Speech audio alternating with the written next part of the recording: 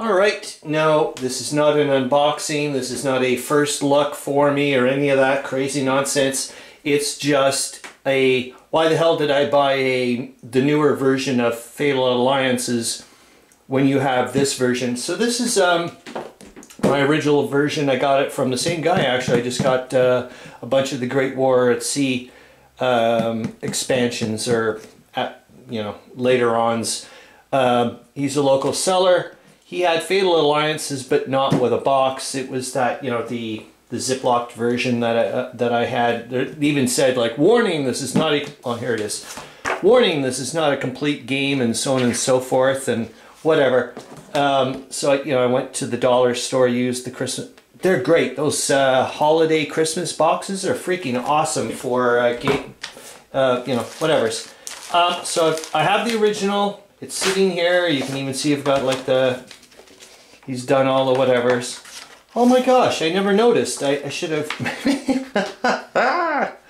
oh my god, maybe I should have like clued in and taken a better look. But, um, well, obviously I didn't.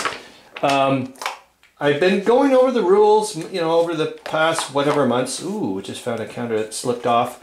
It's interesting that uh, I find actually the new, the older map um, much much, if they're the if the hexes are the same size and there's nothing changed I may actually go with the old map. Um, I'll have to take a look. I'll be honest with you because I find the older map um, I don't think it may have the well we'll see it in a minute but uh, I actually I think I prefer the older map. I'm not kidding you. Oh yeah. Oh like uh, head over heels way better for me. Like you may say, Chris, you're a freak. Um, what the hell is this? Oh, I guess a close-up version of uh, maybe if you're doing the Western Front or whatever. Um, or I, I don't know yet. Um, holy shoot, this is the whole thing. I didn't realize it's also the back, so I probably won't be able to do it. I'm sure the counters will be too big. Um, darn it. Well, or maybe I can uh, we'll figure out something. Hmm. Because I really, really, I'm sorry. Um, me, just visually, you may think, Chris, you're out, out to lunch, but um, like I'm so much more enjoying the old map over the uh, the new one. I just find the new one way too. Um, I'm having a hard time. Which I know you're going to say, uh, and you're you're Mr. Der Weltkrieg map. Yeah, I know. So maybe I will get used to it and, you know, cool it. But uh, to be honest with you, I'm not really, um, I'd like to play this. I was even talking to a few people saying that I'm not sure if I had found out about Fatal. It does, I don't know. Because I don't know how it happened that I, like, became so into whatever. Um, would Fatal Alliances, if I had seen Fatal Alliances before um, Der Weltkrieg, would I have gone down, you know, down the Der Weltkrieg rabbit hole, I don't know, and, and morph it the way I do, I don't know. I will say this, I'm glad I didn't go that way because I think I probably would not have morphed Dervel, uh, uh, Fatal Alliances as much as I have uh, uh, played around with Der Weltkrieg and made it my own. I don't think I would have, I'll be honest with you. And I don't even want to dare even think about, so I let's not even go down that road anymore. So I've been using these rules. I've been going over them and over them and over them, and I'm just like, oh my God, you're giving me so many ideas. And I remember uh, Ken um, uh, got, uh, picked up this game, and he was like, I hate the mountains. I agree with you. They suck behind tit. They're god awful. I, I don't understand what the person was thinking. I'd love to talk to the person because they, they kind of doubled down with the Compass version. Um, but hey man, it's not my game, it's their game. They can, you know, like I said, I used to stare at the Der Weltkrieg maps going, no, I'm not playing this game. This is ridiculous. I actually remember the very first time the, um, like I was like, okay, I'll give it a shot. And um, it showed up, just the introductory module, and I went, are you out of... No, I'm not playing that thing. Uh, but I did. Look what's happened. the counters are great. I, I'm going to say this everything but the funky, crazy. Um, I just think there's it's too much. Relax, man. Especially with a, a strategic. Look, man, this is a strategic game, supposedly. Why the hell do I see like I can't remember what they you guys call this? Uh, I see it all the time in the in the D-Day stuff. Um, oh shoots. Um, it's a certain type of terrain, and I didn't understand what it meant. Like little little towns and little hedge areas, and oh darn. Uh, the D-Day quad has has it every five. I'll probably eventually it'll pop up in my head. But the counter, look, I said I'm not doing it, uh, whatever, but it looks good. I took a look at quickie bits of the counters. Um, oh boy, oh yay, some flags. I can use those things maybe. Um, it's primarily the rules. I really want to start, um, it, uh, and I felt a bit weird because I also picked up the, um, or I printed off the Compass version. I was like, well, you don't really own the Compass version type of thing. Like you're kind of cheating or whatever. Um, and I don't have all the these fascinating. Like I said, I've got one of them. I should have maybe taken a better look, but it's these fascinating charts.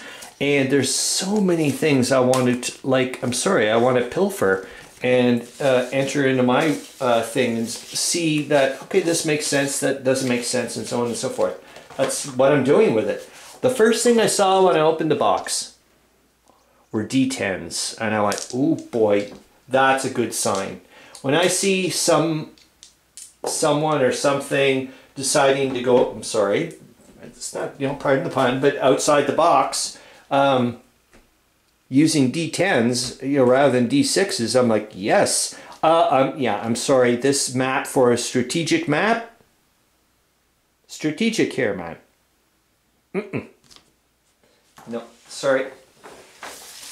Not my cup of tea. No, no, no. No. That's an F. I'm sorry, guys. It's gonna take me a but remember, like I said, I used to say that with Der Weltkrieg all the flipping time. I was like, you've got like, no, that's a no go. I put the bot like the Ziploc thing away and whatever, and now I've I I don't even understand why people.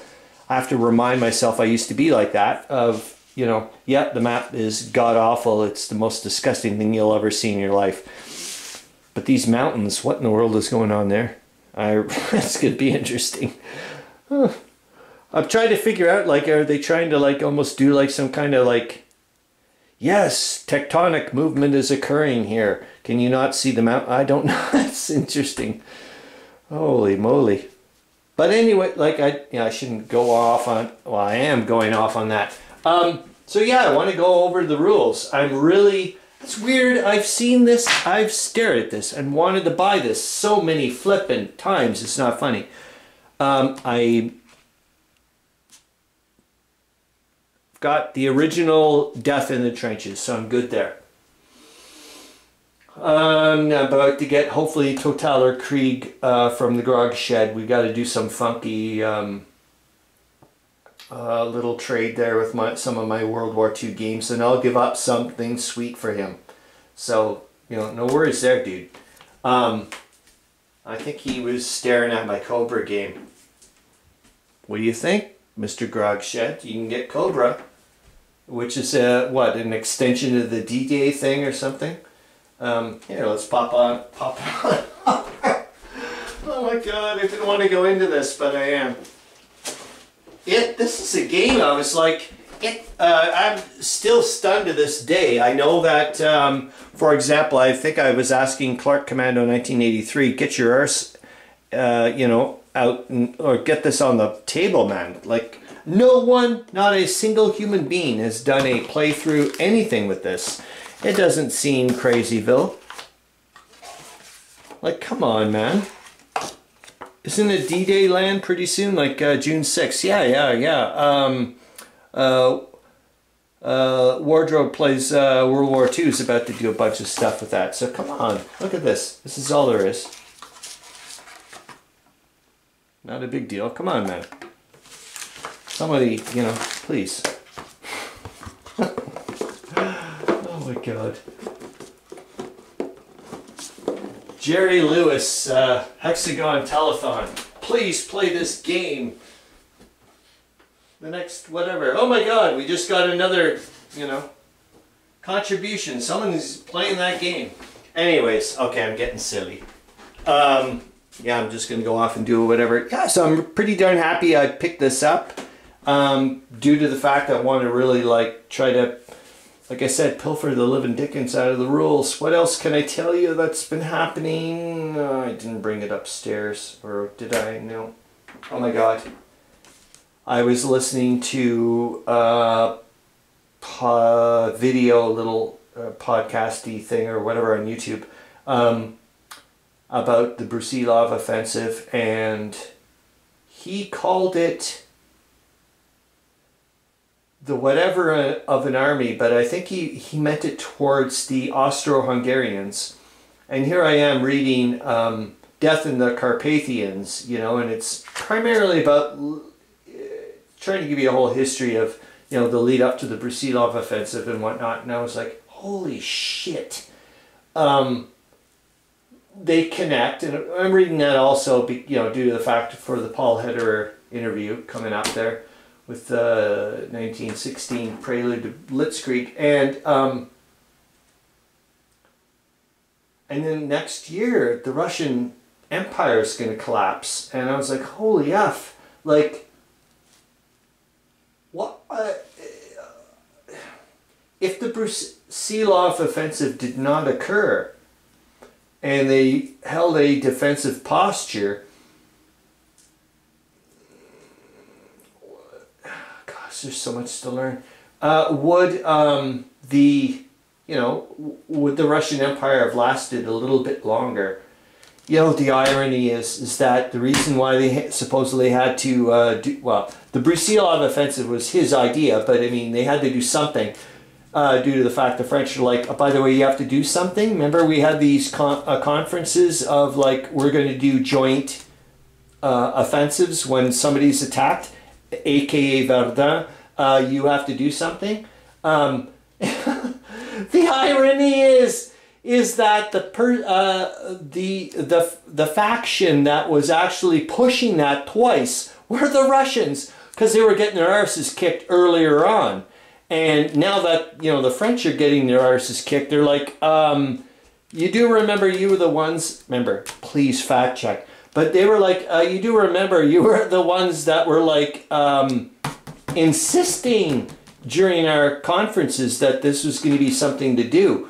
And now we're calling you on it. I was like, oh, it's interesting, isn't it? Eh? It's just like, you better watch what you ask for, man. Um, well, obviously helped them out at the beginning, but woof. Well, let's be honest, helped out regardless, uh, the Allies. Uh, but I will say this in the end no one wins. No one flipping wins, man. I think if I was going to design a grand uh, strategy thing, majig or whatever, like, you know, they, they talk about people um, saying that uh, you design a game that you want to teach, not play. I was like, yeah, I, I probably want to teach somehow that um, regardless. Oh, I've got more forces, I got the more victory points, I still lose. Uh, I think that's the um, the magic of World War One game, uh, board gaming or wargaming, if you want to do it that way. You know, Fatal Alliances. There you go. yep, I'll try to go and do a, a, uh, video about my ferns, which are just um, they're at the point of um, this two-tone green. I don't know if you know what. It, uh, well, hopefully you do know what I mean uh, they're at the height of their, they're at their peak um, of vitality.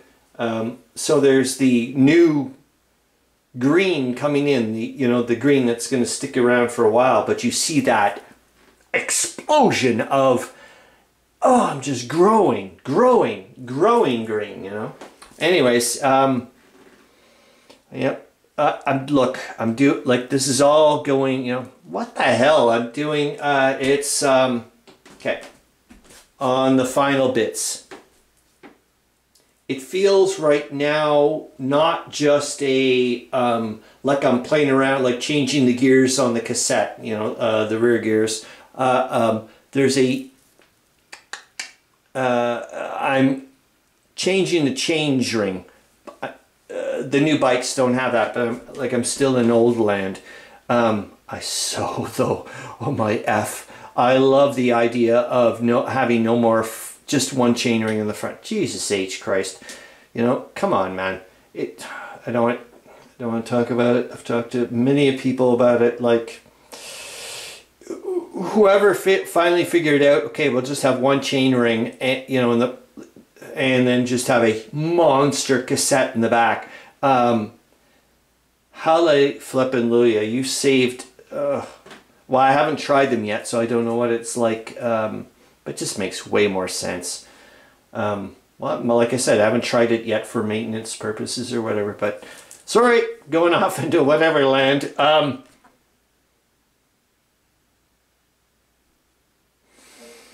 Yabba dabba. Now we're going to get into um, the next shift. What I to start thinking about um, hammering away at uh, Paula Henderer. Yep, yep, that's what I'm going to do. All right, hope you're having a great old time, man. See ya.